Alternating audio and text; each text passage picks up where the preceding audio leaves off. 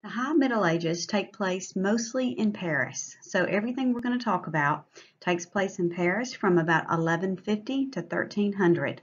The three main categories of this chapter are Gothic architecture, scholasticism, which is a philosophical idea we'll delve into, and the birth of the university. The culture of the Middle Ages derives from two sources. First of all, the humane learning of Greece and Rome, and remember that those texts came to the West through um, the Islamic world. There was a rediscovery of texts through the Muslim world, through the House of Wisdom at Baghdad. And so those ancient texts of Aristotle and Plato and Socrates came through that avenue. And then, of course, the Judeo-Christian worldview, which accounts for the pilgrimages that we'll talk about in this chapter for the Holy Crusades that took place, the war across Europe for hundreds of years, and then finally reforms in the church. It is interesting that the word Gothic came from the Goths. The Goths, remember, were those Germanic groups who invaded the Roman Empire and helped cause the fall of the Roman Empire. And the word Gothic itself was originally intended as an insult. It was first used by Vasari, who was an Italian biographer of artists, and he used it to refer to something rude or barbaric, even, um, you know, to describe art that was rude or barbaric. But the Gothic style lost this negative connotation sometime in the 18th century. And now, of course, the connotation is very positive because this is a style that you see in cathedrals all across Europe. The Gothic style began with Abbot Suger at the Abbey of Saint Denis in um, right outside of Paris. And when Suger became the abbot there, he wanted to create something new. The abbey was receiving a lot of visits. Remember, the pilgrimages were where strong, um, primarily Catholics, would go and they would go to visit whatever cathedral probably that was closest to them where there were relics. A relic is some bit of bone or some bit of cloth, something that was associated from the time period of Christ, whether it be from Christ himself or from one of his apostles, or maybe a piece of wood from a boat that Christ sailed in. So various cathedrals would have pieces of that time period called relics and so people would go on pilgrimages to show their devotion to Christ, to view these relics, or maybe to, to view the tomb of a saint. So um, Abbot Suger built a new church in 1124, and he wanted to build it in a new style. And this style came to be known as Gothic. Gothic the Gothic style is characterized primarily by verticality, which means going up straight, very high, and luminosity, which is the stained glass windows, which is um, letting the, the light of God in. The Gothic Cathedral has many parts. The cathedral itself is associated with um, pointed arches and higher walls. The inside of the cathedral had ribbing, so various kinds of ribs they were called that were used so that the ceilings could go higher and higher and the ribs were used to take the weight of the walls and the ceiling so it could be built higher. On the outside of the cathedral, a structure called a flying buttress was used to take the weight um, of the building itself so again that it could go higher and higher and of course the verticality was to point to God. So you can see in your textbook page 307 all of the different parts of the Gothic cathedral. I am particularly interested in that you know what a rib is and what a flying buttress is. And what you see on this slide are just the basic parts of the cathedral. The narthex, which is the porch or vestibule. In your home, you might call it the foyer, where you first enter. The nave, which is the main part of the church, which is where all the people sit um, before you get to the altar. So that's the central space of the church. The choir, where monks sing the office. Um, and it's like our modern day choir loft, but it didn't necessarily occur after the altar. Oftentimes the choir was running down two sides of the nave. And what the word office there means is the liturgy of the church. The monks would sing that liturgy in kind of a sing-song chanting idea, like we talked about from the early Christian church. This is carrying over here to 11, 1200. The apse, which is the semicircular end of a church where the altar is found. So that it's semicircular wherever you see the high altar where the priest would be speaking. And behind that high altar is the ambulatory. That's the aisle around it. And there is often um, lots of little rooms that would come off the ambulatory, small, um, smaller chapels where one could go and sit and worship, you know, much smaller than the nave of the church. In addition to verticality, the other aspect of Gothic architecture is luminosity, which means light. And of course, that is referring to the light of God. It's based on the mysticism of light that every created being is a small light, and as the light becomes purer, one is closer to God, who is pure light. The lux nova is the saying that this is based on, and it is bright is that which is brightly coupled with the bright, and bright is the noble edifice which is pervaded by the new light. And this can be found in your textbook second column, top of page 312, the Lux Nova, because the stained glass windows in the church were all based upon this idea. They weren't just beautiful creations, they represented God um, as the God of light. And so these stained glass windows were used to express this light mysticism. And you know, as you know, perhaps because you've been there or because you've been in a cathedral, the stained glass windows are probably the predominating piece of architecture that you will notice in a Gothic cathedral. This is an example of a stained glass window. This is Notre Dame de Belle Verrier at Chartres Cathedral. Chartres Cathedral um, is a a cathedral in a town south of Paris that had 173 windows. And what the name of this um, particular window translates to is Our Lady of the Beautiful Window. And the Our Lady is Mary, who is right in the middle of the window with Christ behind her. The glass here is not painted. Each piece of glass is individually dyed. Um, and so in the Middle Ages, you had the guilds and the guild was a cross between a union and a social club, and it was associated with a particular occupation, whether that be um, the bakers or the shipbuilders. And these guilds would sponsor different windows that they would um, pay for and put in the cathedral. So it was a mark of pride to have a beautiful stained glass window from a guild. And so at Chartres, they were particularly known for the color red. You can see the red that is in the middle behind Christ and Mary. That is called Chartres red, and they had a particular method of dyeing to produce that color. So each individual piece of glass is put together with lead, and you can you can see the lead in the background, and of course the big the big panes where lead is used to put it together. Um, and these were so important because as we have noted, most of the populace um, was not educated, they could not read, and so these stained glass windows were called the Bible of the poor because they educated people in the stories from the Bible. And this one is about Mary um, and the, the idea that is associated with luminosity uh, is that just as Christ passed through Mary's body, that's the same way that light passes through a window. It keeps it totally intact without changing the glass and also without changing Mary. And short, the whole cathedral is devoted to Mary. It's Chartres was the seat of learning, and Mary is considered the um, is of course the woman of wisdom and of learning.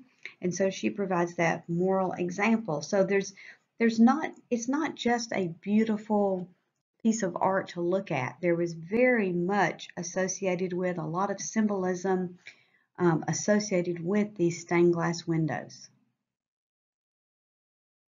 There are pictures in your textbook, pages 310 and 311 of both the cathedral at Chartres and of Notre Dame. Notre Dame Cathedral in Paris is probably the most famous building in the world. It is certainly the most famous example of Gothic architecture. And what is unusual is that builders and theologians worked together to build these cathedrals and so that there was a, a very functional, practical point of view for each part of cathedral, but also a spiritual point of view. And one example of that is the gargoyles on Notre Dame.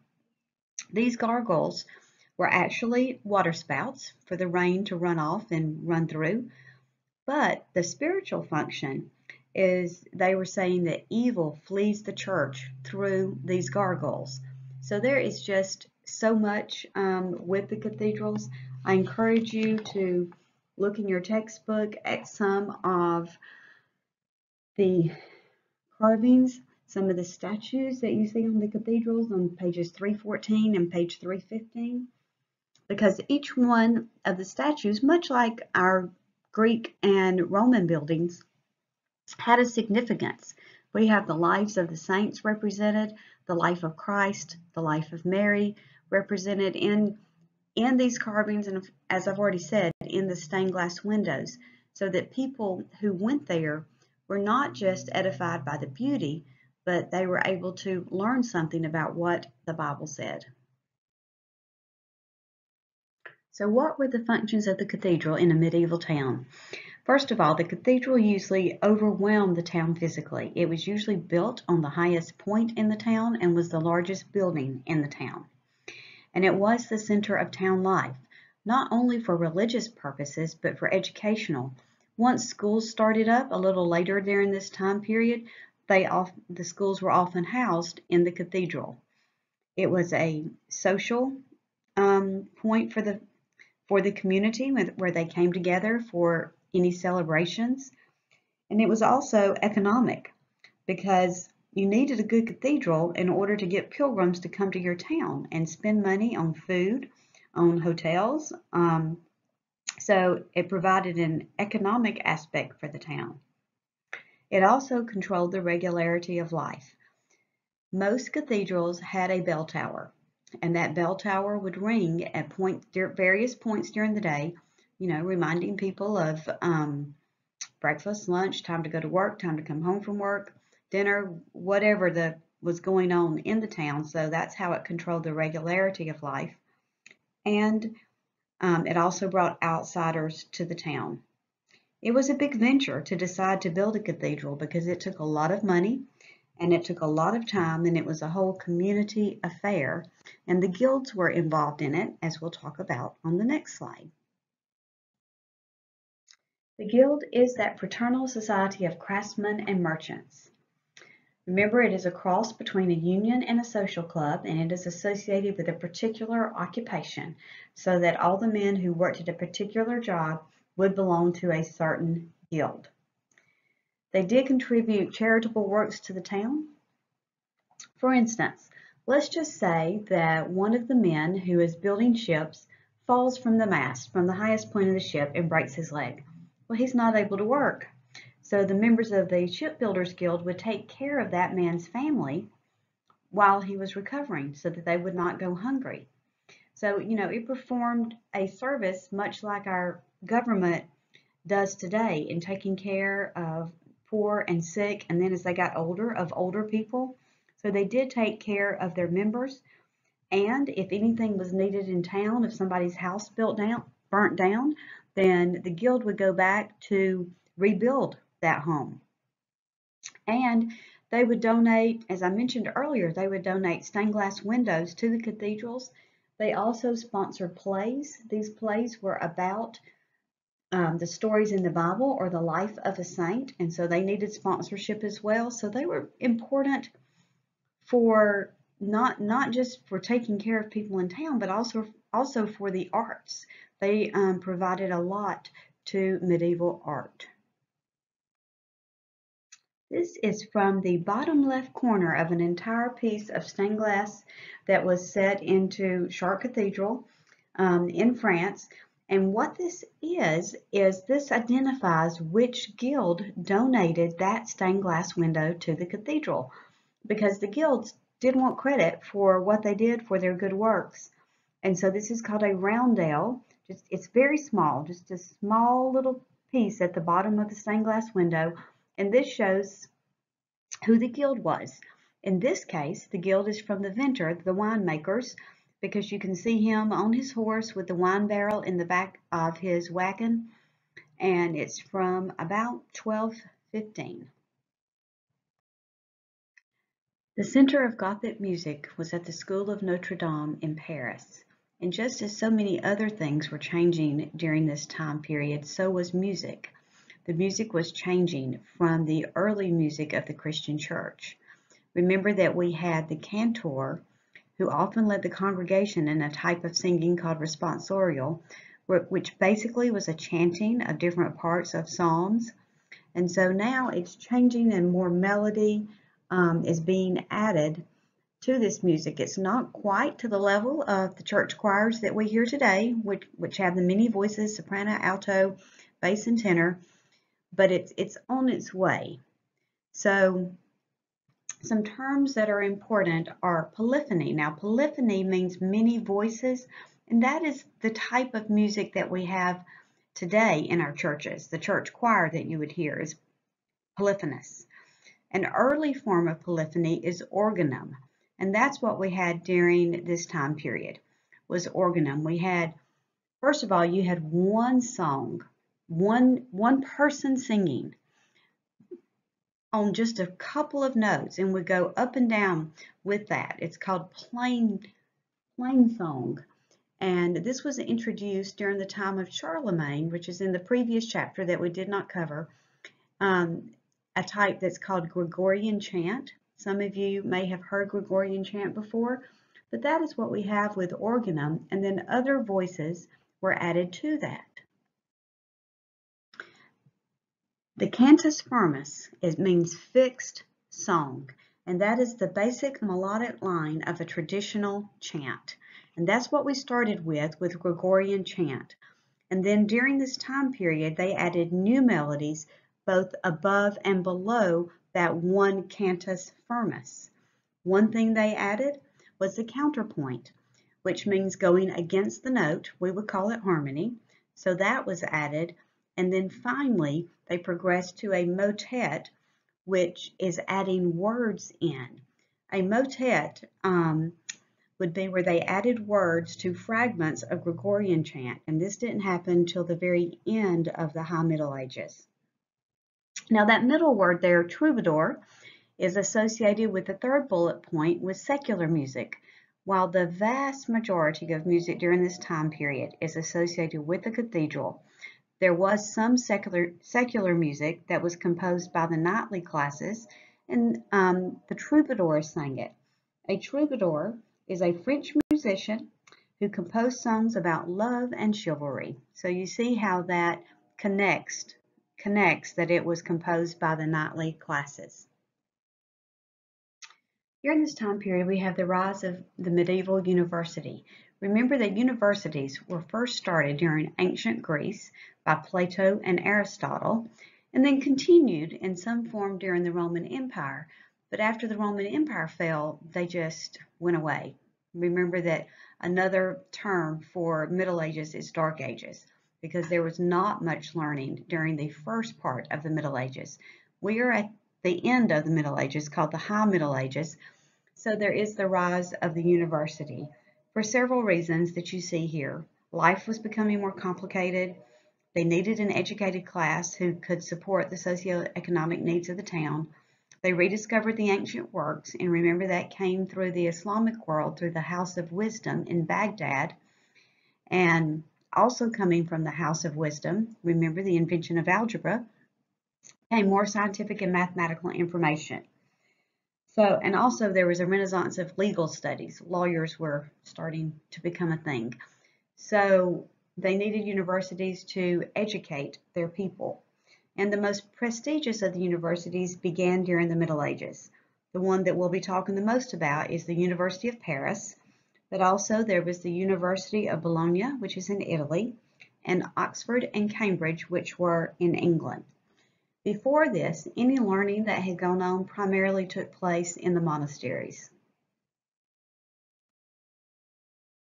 Scholasticism developed from dialectics. I encourage you to read the highlighted box at the top of page 321 in your textbook about dialectics.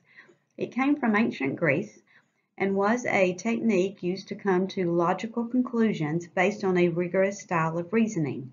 If that sounds like debate to you, then that's what it is.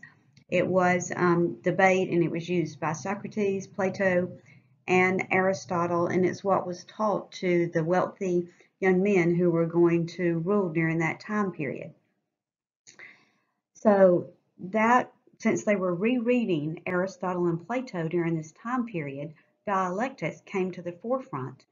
But they were doing a different kind of study during this time period because of the influence of Christianity. So they're studying theology and philosophy. And so they applied the ancient Greek technique of dialectics to the newer studies of theology and philosophy. And so this is what is known as scholasticism. It was combining conflicting opinions concerning theology with contradictory passages in the Bible and then trying to reconcile them, which sounds a little foreign to our ears, but that's what they were doing. The the um, The professors of the university had three duties. They had to explain scripture, they had to preach it, and then dispute it. And that's where scholasticism comes into play. They had to set out Christian doctrine in some logical form, form and debate it and find those contradictory passages and debate them, um, explain them. And the most famous of the scholastic scholars was the famous University of Paris teacher Peter Abelard. He wrote Sic et um, in which he used scholasticism to explain scripture. Abelard is also very famous because he had, um, of course, he was a priest. That's what most of the professors at these medieval universities were priests. And he had an affair with a student named Heloise, and she became pregnant and so they had secretly had a son and were married. Um, but then, in a very Romeo Juliet turn of events, um, Abelard died, and then later um, Heloise died, and so they were they have now been buried together at the University of Paris. Medieval universities awarded both master and doctor degrees. First of all, keep in mind that it was overwhelmingly male. There were, might have been rare exceptions, but it was just men who went to university, and it was first it was called a universitas, and that simply meant a guild or a corporation. So it was like a business. It was just later on that they were called universities as centers of learning. So they awarded a master degree in just like a regular liberal arts degree like we have today your bachelor degree, but it was called a master degree when they completed their course of study in rhetoric and logic and all of the, the um, subjects that we have today. They would have received a Master of Arts degree. And then from that, they could go on to do specialized training in either theology, law, or medicine, and they would receive a doctor degree.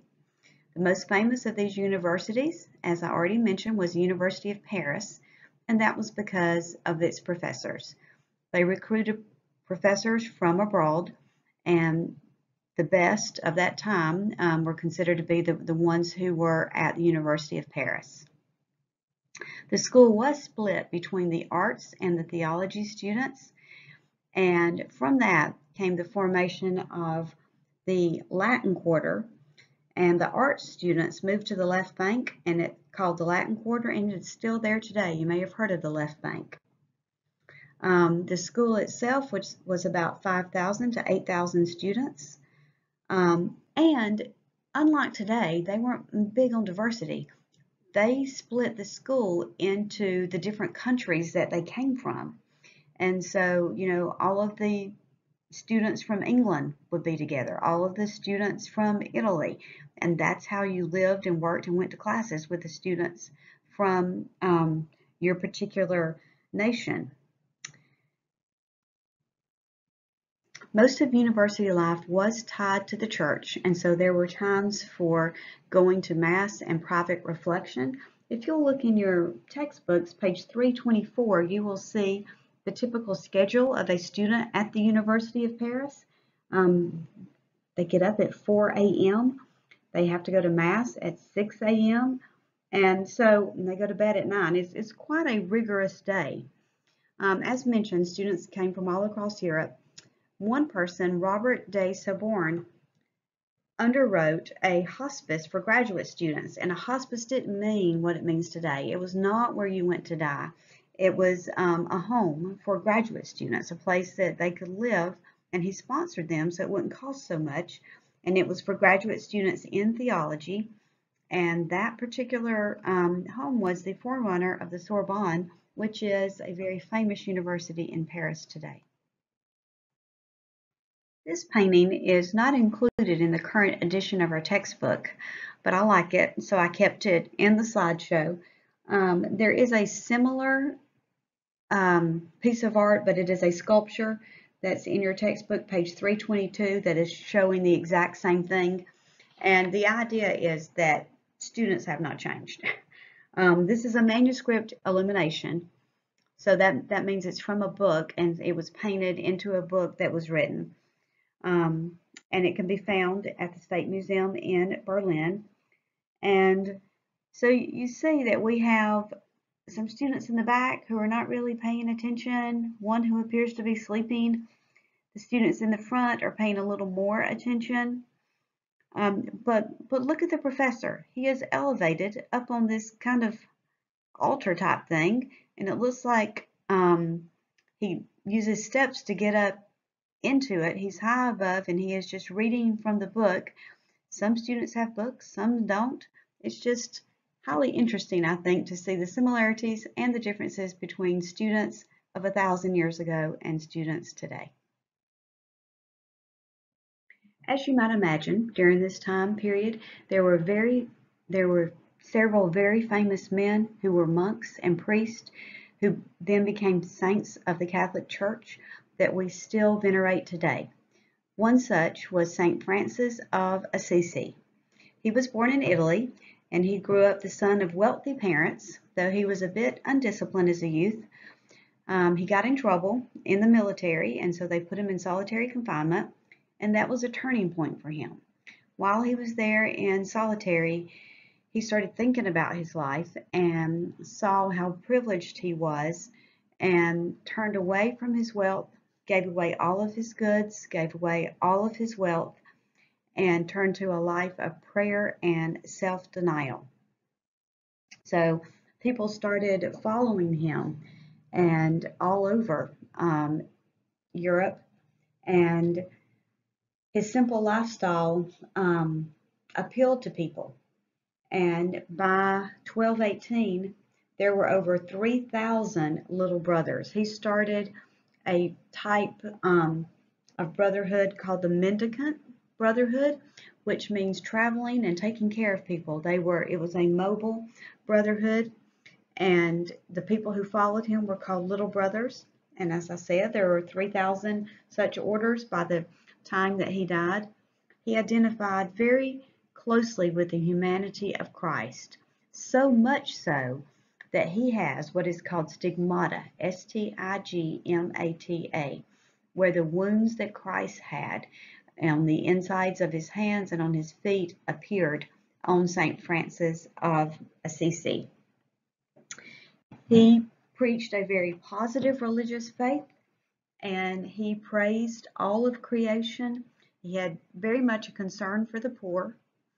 And one way that people remember him today is that he is associated with animals.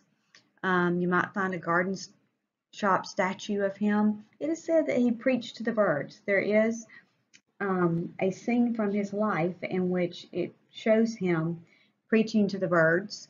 Um, so he is associated with nature and with animals. He did believe that the Gospels could be followed literally.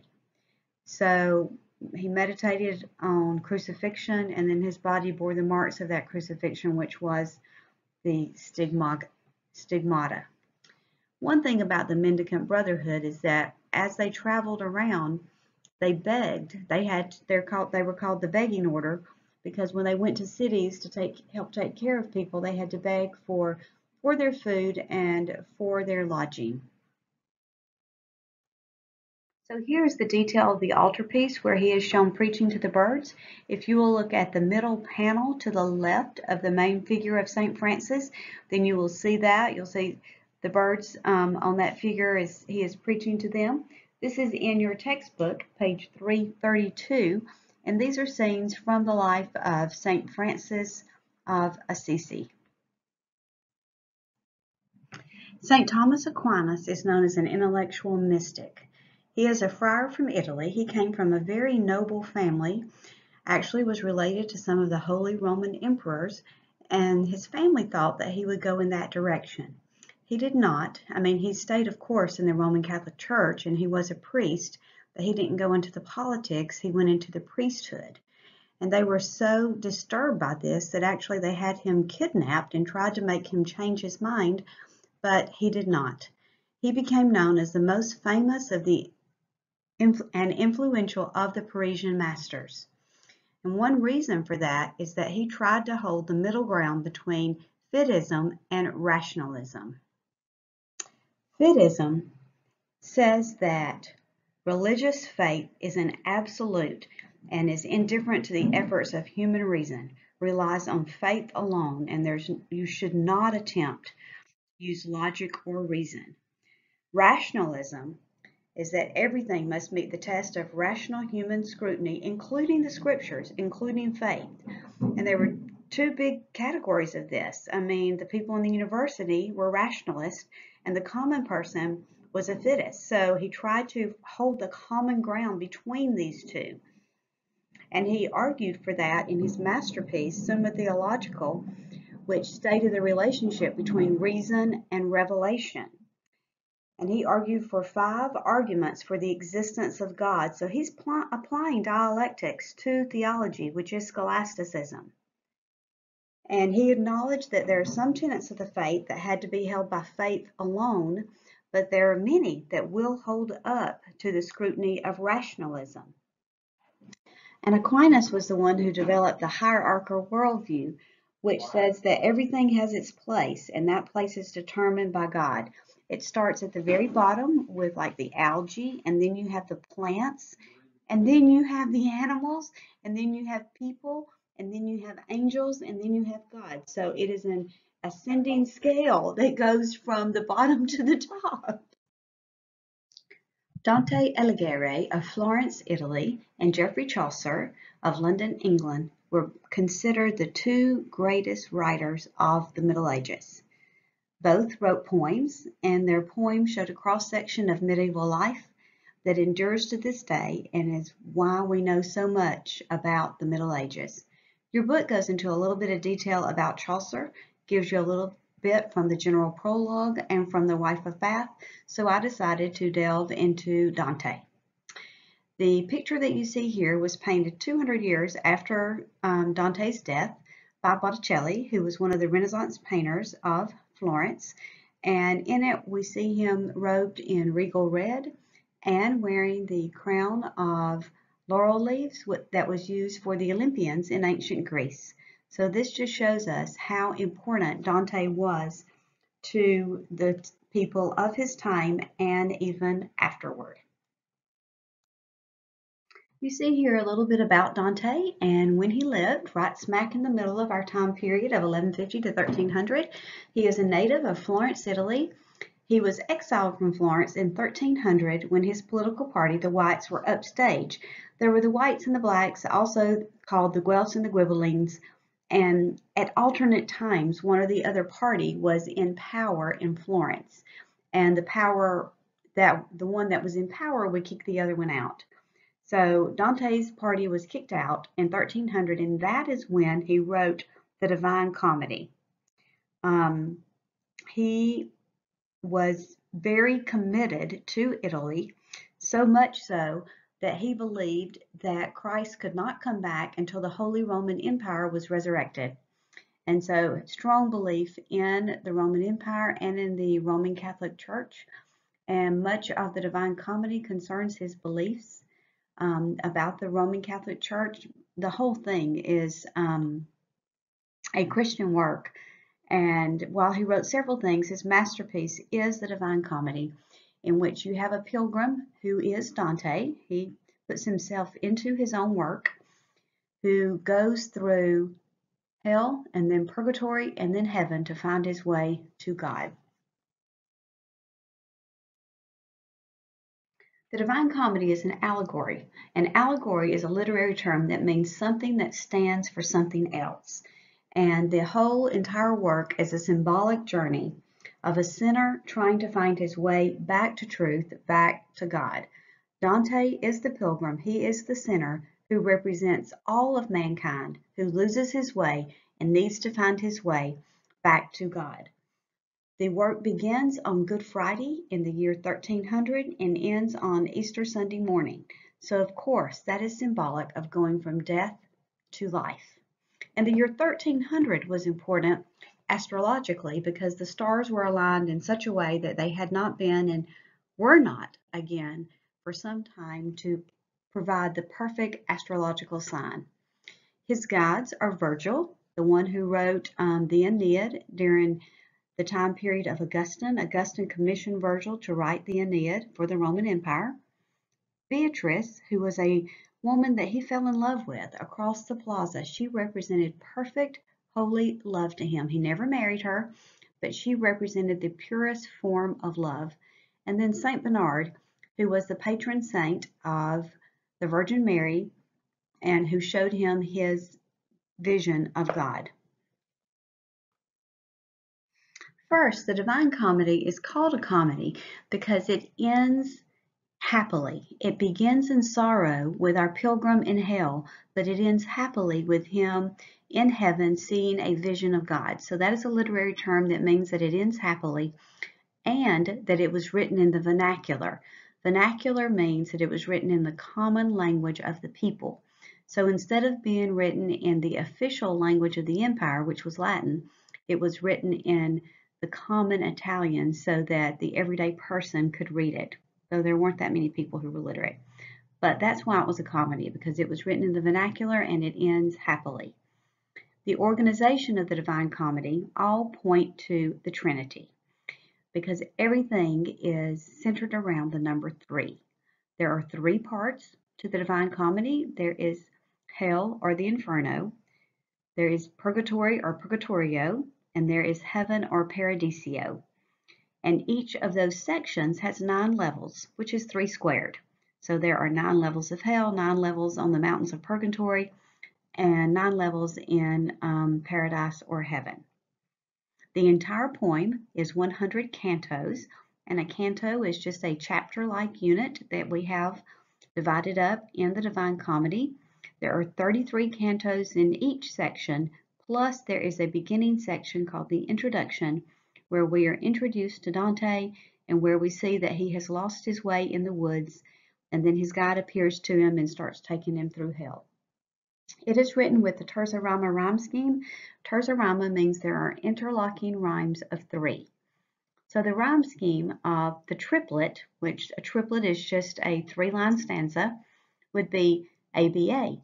And then the rhyme scheme of the next triplet would be BCB, and of the next triplet would be CDC. So that middle line is the one that has the interlocking rhyme scheme.